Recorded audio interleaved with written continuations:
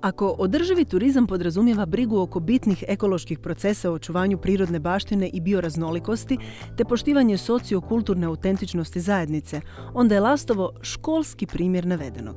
Život na otoku nije lagan, ali vraćaju mu se i mladi. Nije baš najjednostavnije, ali to donosi sa sobom nekakve velike prednosti. Život je dosta mirniji, vrijeme teče dosta sporije, nikada nije dosadno, uvijek se uvalite u neke neočekivane probleme. Tako da, ne znam, za meni, to, meni to odgovara i meni je to baš, baš dobro. Iako je prema gostima zbog svoje udaljenosti i burne prošlosti i danas relativno zatvoreno, Lastovo ipak kroz godine posjećuje sve više turista. Motivacija, preljepa, očuvana priroda.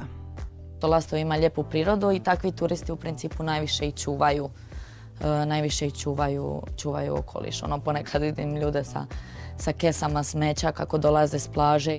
Lastovo je po mnogočemu čarobno. Tu su fumari, prepoznatljivi lastovski dimnjaci, Knežev dvor, šetnice, arhipelag i još mnogo mjesta koje morate istraživati. Najbolje kroz nekoliko dana. No ono što osobito privlači pažnju je nebo zbog kojeg je prozvan otokom zvijezda.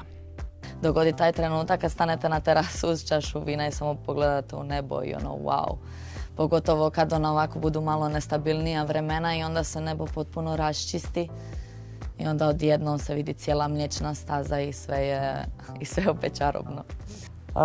prije više od deset godina na Lastovu su slovenski i hrvatski astronomi prvi put uočili fantastično nebo i silno se potrudili oko toga da i prilagode rasvjetu ekološko, što tada nije bilo u zakonu, a danas jest i počeli su s ovim simpozijima, turama i predavanjima koje smo mi obnovili u suradnji sa Hrvatskim astronomskim savezom 2021. godine.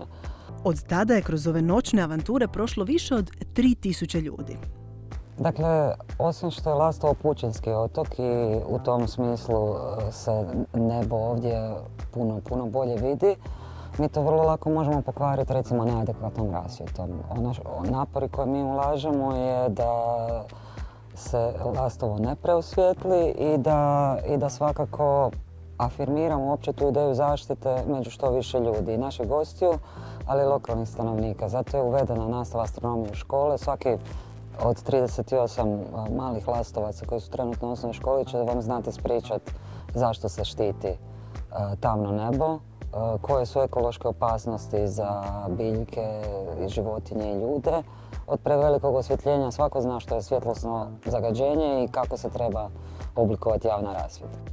Jedan pogled na nebo iznad Lastova podsjetit će nas na to koliko smo mi i naši problemi mali u svemirskom prostranstvu. Promatranje neba je cijelogodišnja aktivnost i onda povećanje broja turista ne mora nužno znači zagušenje ljeti, nego povećanje broja kroz cijelu godinu. I zato je idealno vrijeme za posjetiti Lastovo i pobjeći u neki posve drugi svijet u svako doba godine? Uh, well, I've never been able to point out the North Star or the Big Dipper, and I learned that. And we also saw a planet. Yeah, I would say they, it's a must see because you'll never have another place where you could see this many stars, and it's a once in a lifetime experience for sure. druga mladost, kar bude kantati, varno moja ne.